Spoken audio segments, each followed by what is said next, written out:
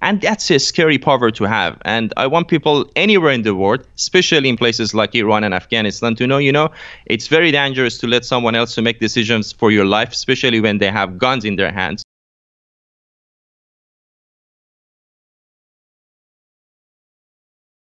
You've always you you know you've maintained that you always wanted to leave Iran. What was the main precipitant for for you wanting to leave the country of your birth?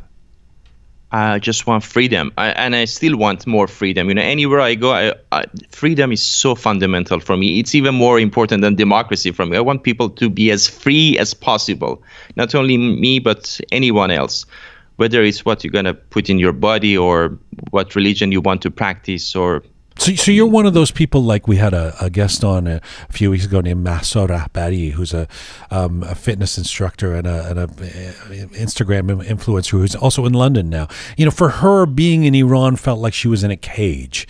That that's the way it felt for you as well.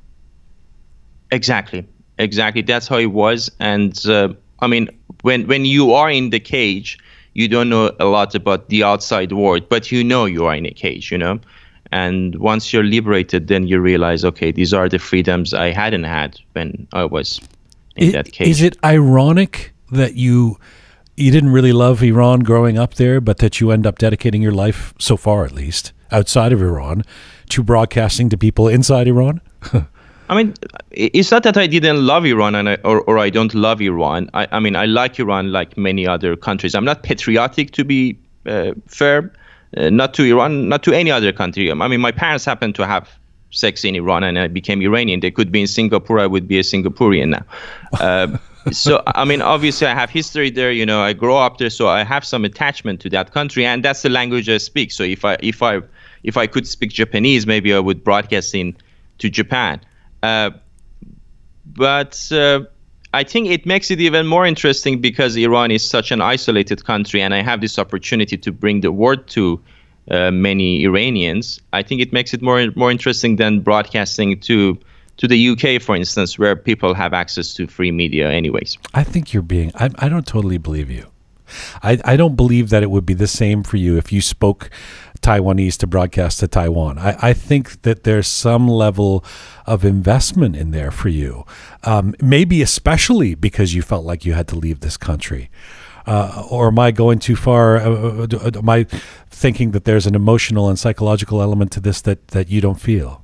You might be right. You might be right. I mean, maybe one of the reasons is I want to show to the people inside the country that, you know, there can be an alternative. Uh-huh. You know, uh-huh. the world can be a better place. And I mean, I tend not to compare governments with each other. I hate when people do that. Oh, look how great the UK government is comparing to your government. I'm, I mean, I'm skeptical towards all governments around the world. Obviously, the Western ones, the ones that are democratic, are better. But nevertheless, governments all around the world, they are the only entities that have the legal monopoly of using force. And that's a scary power to have. And I want people anywhere in the world, especially in places like Iran and Afghanistan, to know, you know, it's very dangerous to let someone else to make decisions for your life, especially when they have guns in their hands. Mm-hmm. So just speak for yourself, try to make some changes and be more free and there is other ways of living than the ones that your government is portraying for you